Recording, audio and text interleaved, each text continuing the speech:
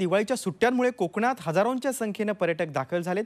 दरवर्षीप्रमाणे यंदाही दिवाळीच्या सुट्टीसाठी पर्यटकांनी यावेळी कोकणचा निसर्ग आणि कोकणी खाद्यपदार्थांनाच पसंती दिल्याचं पाहायला मिळतंय.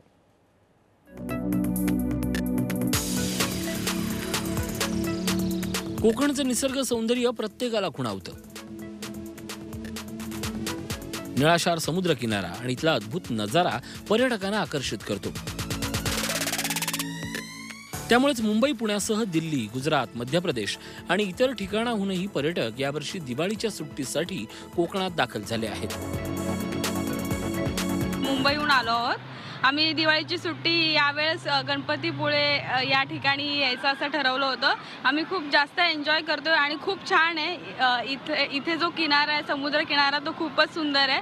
मुंबईपेक्षा सुंदर आहे. म्हणजे स्वच्छता खूप जास्त आहे. त्यामुळे आम्ही खूप जास्त एन्जॉय करू शकतो रत्नागिरीत वॉटर स्पोर्ट्स सोबतच समुद्रात भिजण्याची मजा सुद्धा पर्यटक लुटतायत. सोबतच गणपतीपुळे बेळणेश्वर तारकर्ली अशा ठिकाणांना पर्यटकांनी सर्वाधिक पसंती दिली आहे.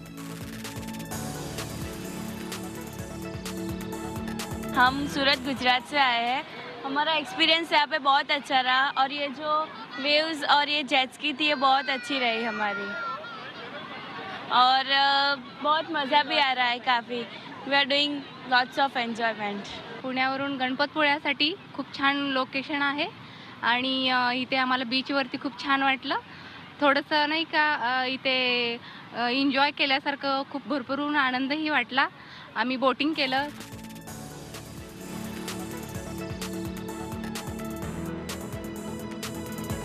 रत्नागिरी नजीकच्या गणपतीपुळे मंदिरासमोरचा किनारा पर्यटकांनी तर अक्षरशः फुलून गेलाय.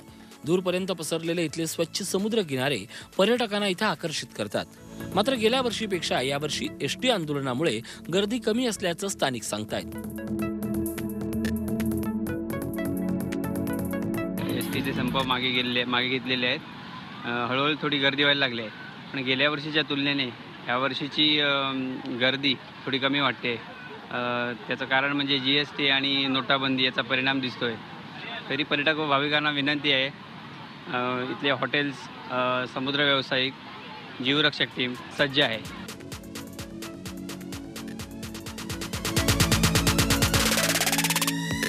परदेशात आणि गोव्यात ज्या सुविधा मिळतात त्याच सुविधा आता कोकणातही मिळू लागल्या आहेत. त्यामुळे मोठ्या प्रमाणावर पर्यटक कोकणाकडे वळू लागलेत. Pranav Polekar Zee media Ratnagiri.